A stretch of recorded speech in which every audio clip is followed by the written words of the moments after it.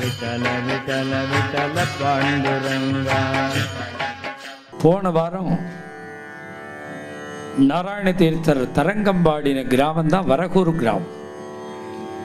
இன்னைக்கு பிரசித்தமாக கிருஷ்ணலீலா தரங்கிணின்னு பாகவதாலாம் பாடுறோமே அந்த தரங்கம் பண்ணின ஊர் அது. அந்த பெருமாள் சந்நிதியிலேயே அவர் எந்த இடத்துல தரங்கம் பாடினாரோ அங்கேயே உட்காந்து பஜனை பண்ணுற ஒரு பாக்கியம். போன இருபத்தாறாம் போன சனிக்கிழமை. சனிக்கிழமைன்னு நினைக்கிறேன். அங்கே ஒரு விஷயம் சொன்னேன். அதை உங்களுக்கு இல்லாமல் சொல்லணுங்கிறதுக்காக சொன்னேன் நாராயண நாராயண தீர்த்தருடைய தரங்கமே அது கீர்த்தனம் மாத்திரம் இல்லை அது பிரார்த்தனை. நமக்கு நம்முடைய ஃபேமிலியில் என்னென்ன ட்ரபிள் இருக்கோ எல்லாத்துக்கும் பரிகாரம் மாதிரி கீர்த்தனம். அதில் முக்கியமா ஒரு ஆறு தரங்கங்கள் இருக்கு. இந்த ஆறு தரங்கம் இந்த ஆறு எல்லா ஃபேமிலிக்கும் வேணும். அப்படி இருக்கும் அது. அது என்னென்ன எது எது எதுக்கு எந்தெந்த தரங்கம்னா வரவு செலவு பட்ஜெட்டு கஷ்டப்படுறா பற்றியெல்லாம் சில குடும்பத்தில் மேட்ச் பண்ண முடியாமல். அது மாதிரி சிரமப்படுறவா. மேலே மேலே மேலே ஏதாவது சிரமம் வந்துட்டே இருக்கும். ஒன்று முடிஞ்சு அப்பாடாங்கிறதேல அடுத்தது கதவை தட்டும். இப்படி மாறி மாறி வரும். இது நமக்கு சிரிச்சுண்டு தலையாடுறவா முழுக்க அனுபவிக்காதவா? அதுல மாட்டின்ற வாழ்க்கை தான் அதோட சிரமம் தெரியும். இது மாதிரி சிரமம் இருந்ததுன்னா தினம் இந்த தரங்கத்தை சுவாமிகிட்ட பாடணும். பாடினா இந்த கஷ்டம் நீங்கிடும். சிரமம் வராது. நமக்கு குடும்பத்துக்கு எவ்வளவு தேவையோ அவ்வளவு சம்பத்தை ஐஸ்வர்யத்தை பகவான் கொடுப்பார். இப்படி ஒரு பிரார்த்தனை. இதுதான் சரணம் பவ கருணாமயி குருதீனதையாளோன்னு ஒரு தரங்கம். எல்லாரும் தெரிஞ்ச தரங்கம் தான். ஒரு வரி பாடி காமிக்கிறேன். சரணம் பவ கருணாமயி குருதீன இந்த தரங்கம். இதை பாடினா எத்தனை கஷ்டம் வந்தாலும் நின்றுடும். கஷ்டம் நிவர்த்தி ஆகிடும் குடும்பத்துக்கு தேவையான சம்பத் ஐஸ்வர்யம் கிடைக்கும். இன்னும் சில பேருக்கு வெளியில சொல்ல முடியாத மனசுல ஒரு பீதி இருக்கும் பயம் இருக்கும். அது வயசாயிடுதுன்னா யாரும் இல்லாம தனியா இருக்கவே மாட்டேன் காரணமே தெரியாது பயம் இருக்கும். அது டாக்டர்களால கூட போக்க முடியாது. அப்படி ஒரு பயம் இருந்ததுன்னா அதுக்கு ஒரு தரங்கம் இருக்கு. பயக்காரண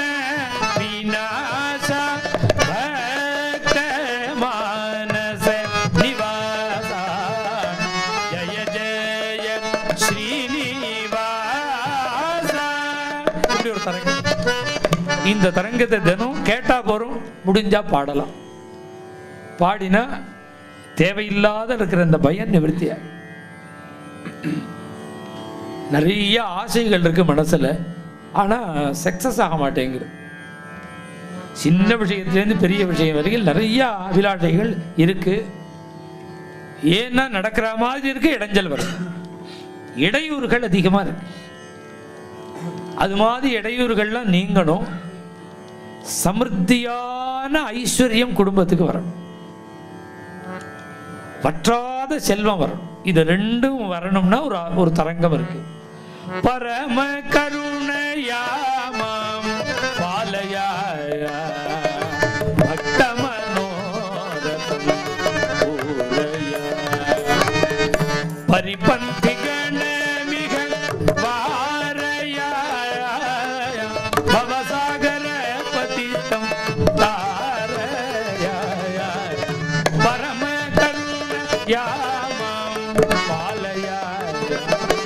இது இது பிராபலங்கள்லாம் நிவர்த்தி ஆகணும் இடையூறுகள் விக்னங்கள் நிற்குன்னு மனசில் ஆசைப்பட்டது நடக்கணும்.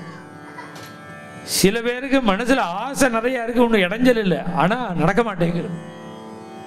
அதுக்கு ஒரு தரங்கம் இருக்கு. புரைய மம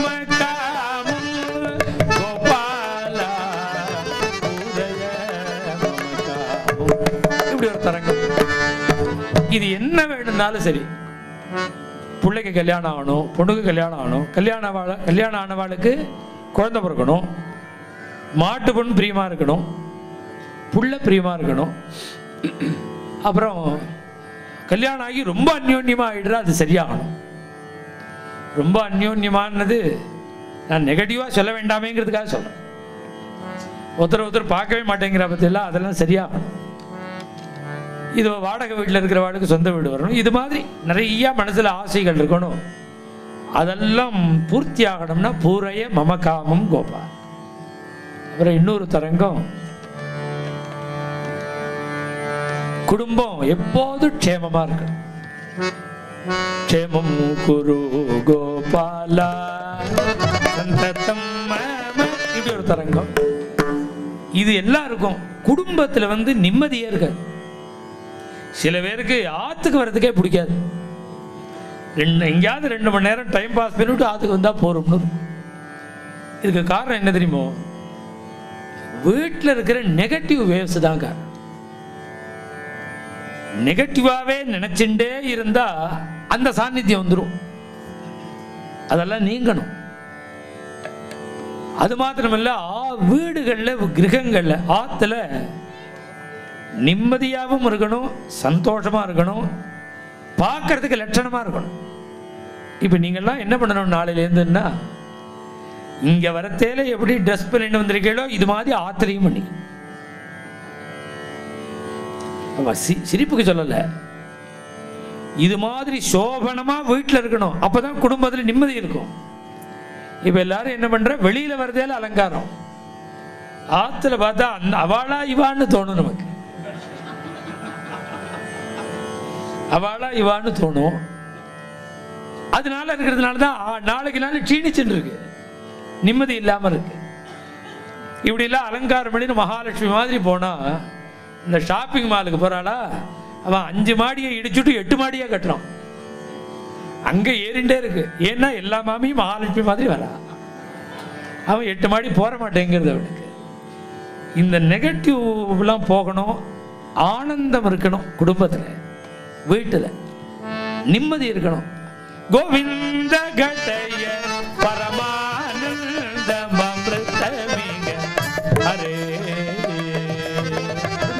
தரங்கம்.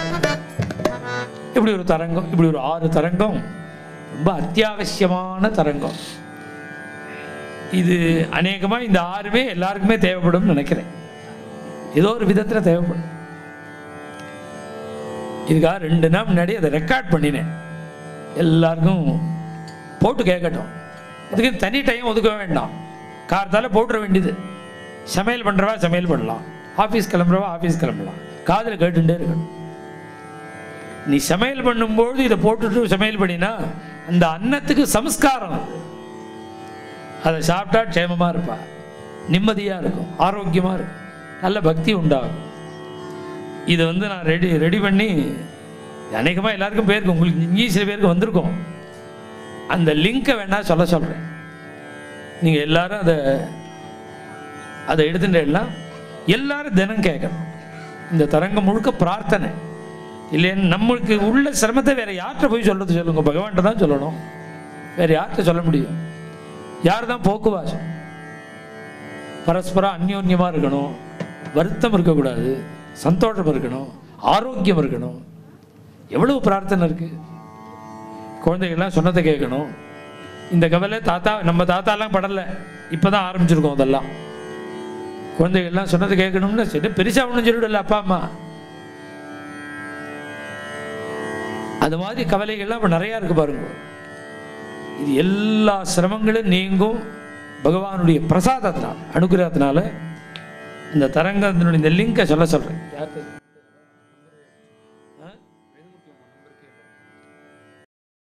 விட்டல விட்டல விட்டல பாண்டுரங்கா.